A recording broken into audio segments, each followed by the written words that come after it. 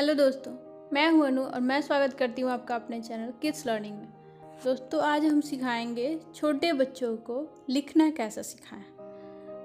क्या है ना कि जब हमारे घर में छोटे बच्चे होते हैं, दो से तीन साल के, जब वो बातों को अच्छे से बोलना सीख जाते हैं, बातों को समझने लगते हैं तो हमारा ये मन करता है ना कि इन लोगों को कुछ लिखना सिखाया जाए, कुछ पढ़ना सिखाया जाए।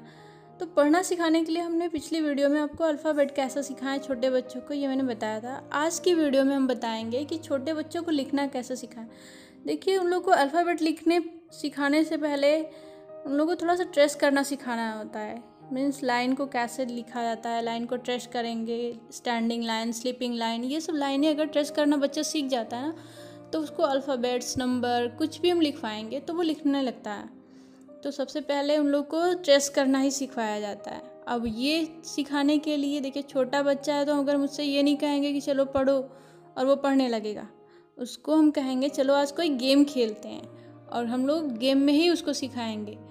तो आज जो वीडियो है मेरा, उसको आप ज़रूर देखिए और उसमें मैंने यही किया है कि बच्चों को एक गेम के थ्रू ट्रेस करना सिखाया लाइन को। अगर आपको अच्छा लगे तो लाइक करिएगा। चलिए देखते हैं वीडियो। तो स्टार्ट करते हैं हम अपना। आप देख रहे होंगे कि ये है हमारी पिक्चर आपको सामने एक फ्लावर दिख रहा होगा और उसके नीचे से कुछ डॉट डॉट की टूटी टूटी लाइनें दिख रही होंगी, जो सीधे नीचे जा रही हैं। ये लाइनें आपको एकदम ज़मीन से टच करती हुई दिखेंगी, जहाँ पे छोटी छोटी घास उगी हुई है। अब हम ये सब दिखा करके आपको बता रहे हैं कि ये सब दिखाकर बच्चे से आप कहेंगे कि इन टूटी टूटी लाइनों को आपको एक साथ मिलाना है।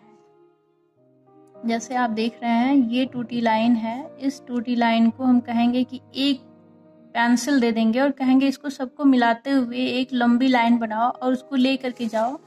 इस नीचे ज़मीन से टच कराओ, ठीक है?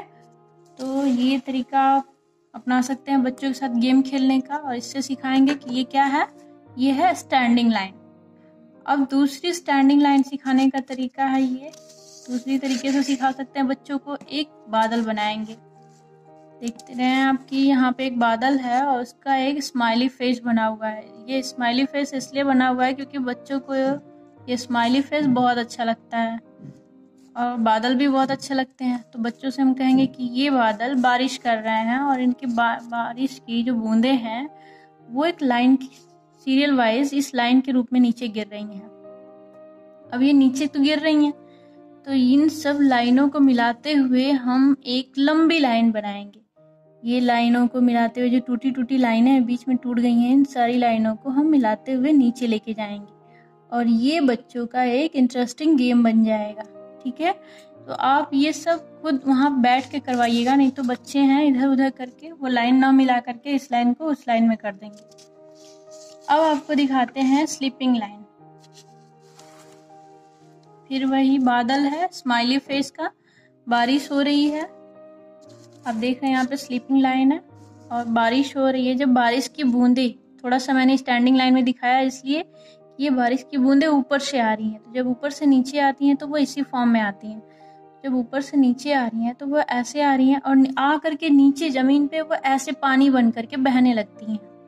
स्लीपिंग लाइन ये सिखाने का है उन लोग को तरीका कि आप पानी की बूंदों को मिलाओ। तो ये जो पानी की बूंदें हैं, ये नीचे आकर के ऐसे ज़मीन पे बहने लगती हैं।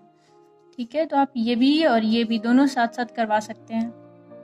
ये सारी लाइनों को आप मिलाते हुए ये एक साइड में लेके जाएँगे। ऐसे कहेंगे कि बच्चों, इन सबको लाइनों को मिलाते हुए आप लेके चलो।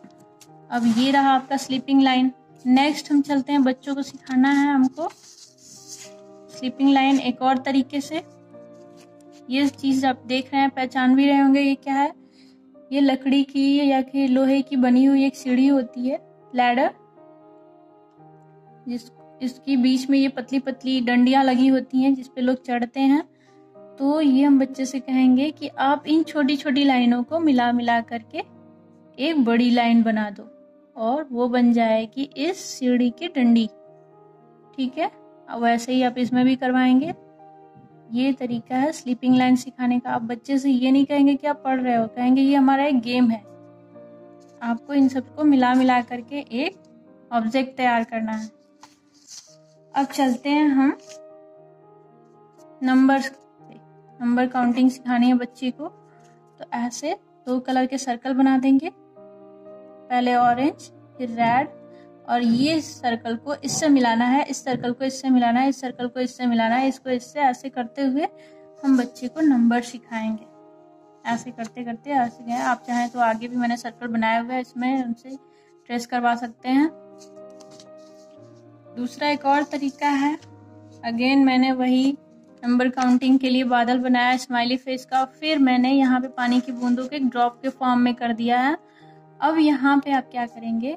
कि बच्चों को एक एक ड्रॉप का नंबर देंगे काउंट करने के लिए। जैसे अगर ये वन है, यहाँ पे टू है, वैसे ही थ्री फोर फाइव यहाँ पे सिखाएँगे three four five six seven eight again nine and ten तो ये बच्चे से उसमें इसके अंदर नंबर लिखवाएँगे और फिर बच्चे से कहेंगे कि इसको आप काउंट करो कितने ड्रॉप्स बादल से नीचे गिर रहे हैं।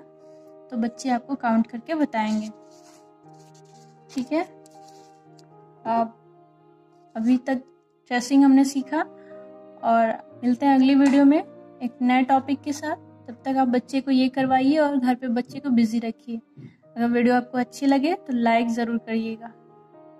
Thank you